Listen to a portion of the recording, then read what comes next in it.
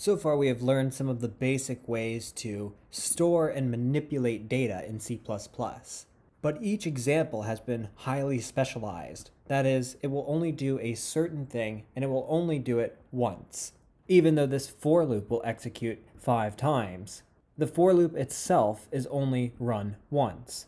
And it would be better if we could write more general code that can serve a number of purposes and be referenced multiple times without having to repeat ourselves.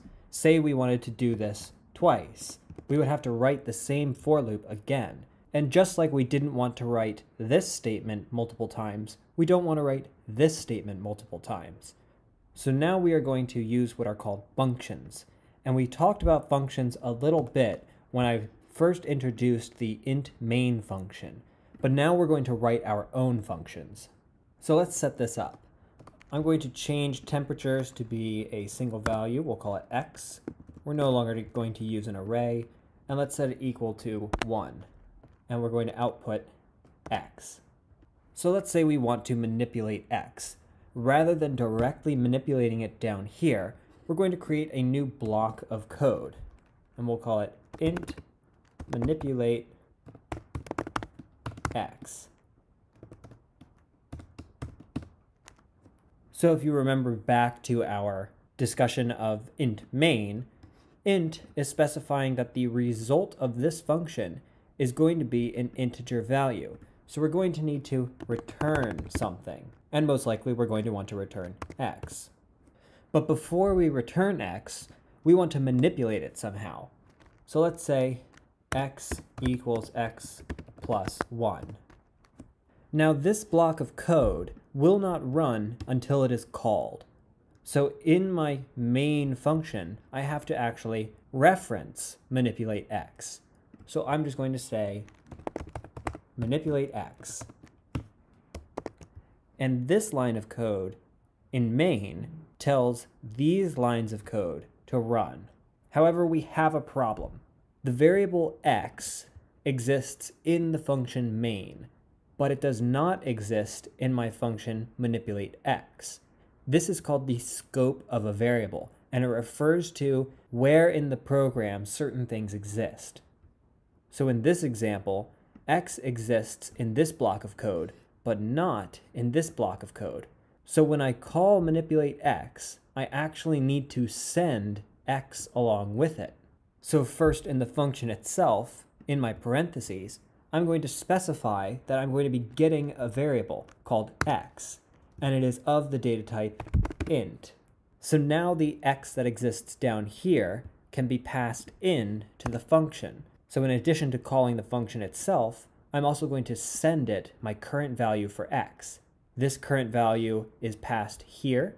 So then when I say x equals x plus 1, we're going to manipulate it. However, again, scope comes into play because this manipulation only has the scope of this function. So my new value for x doesn't exist once I come back to this function after this one has executed. And that's why I have my return statement. So just like I sent the value x into the function, my return function is going to send it back out. And I need x available to catch that return.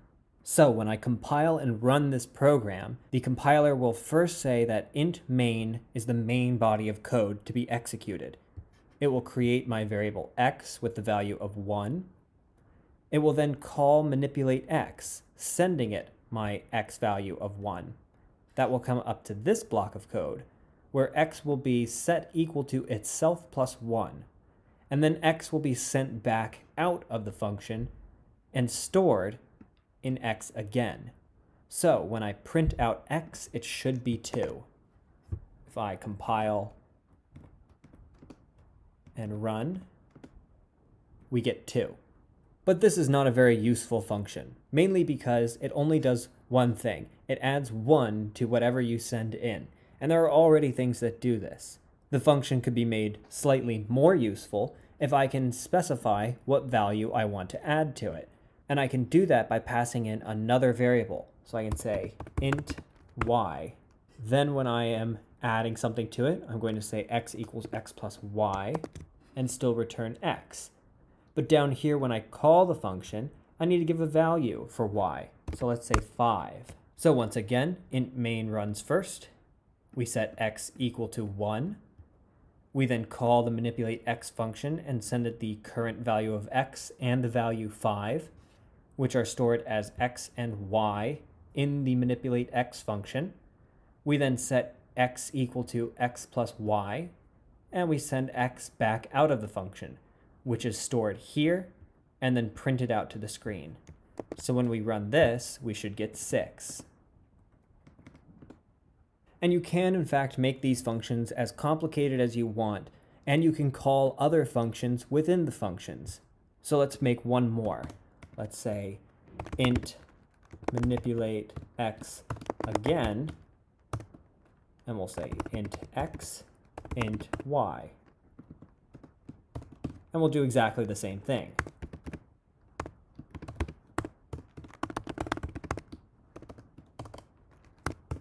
So in our original manipulate x statement, we can now say x equals manipulate x again, and we'll also pass it x and y. So when we compile and run the program, int main runs first. We set x equal to 1.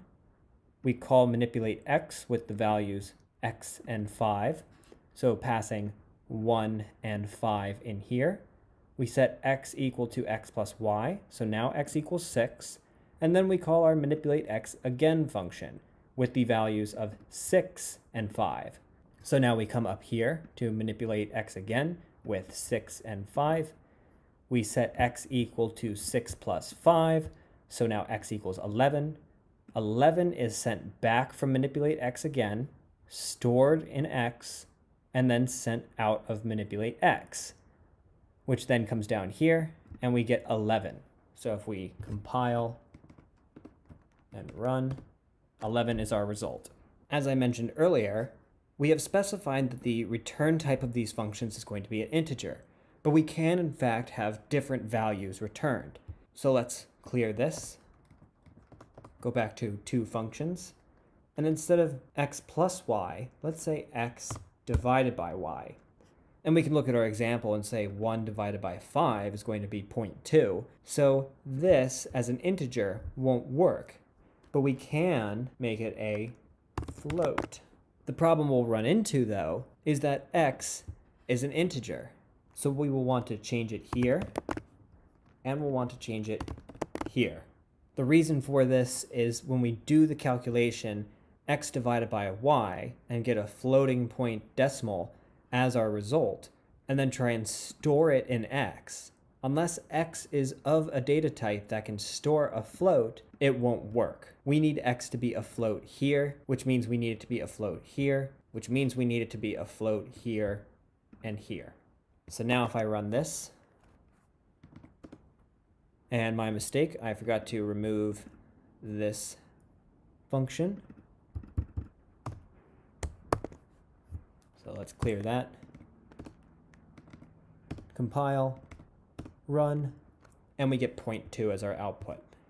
So we use a function to declare a certain block of code that will be called elsewhere, perhaps multiple times, and given specific parameters. These functions are declared with a certain data type, and they return that data type back out of the function.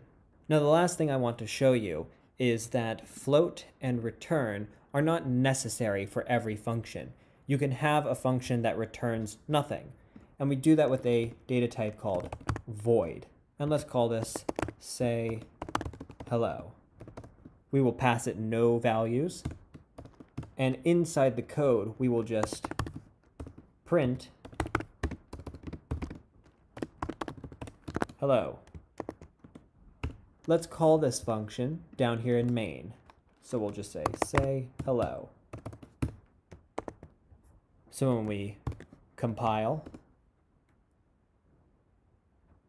did I not say standard C out? I did say standard cout. Ah, I put one colon instead of two. Silly mistakes. that will happen. So let's try that again. Compile, execute, and you'll see it first says hello, and then it says 0.2. So not every function has a return type, and when they don't, they don't need to specify a data type. You will instead just say void and provide a block of code to run. So if this video was useful for you, please leave a like. It helps me grow the channel and it will help other people find the video.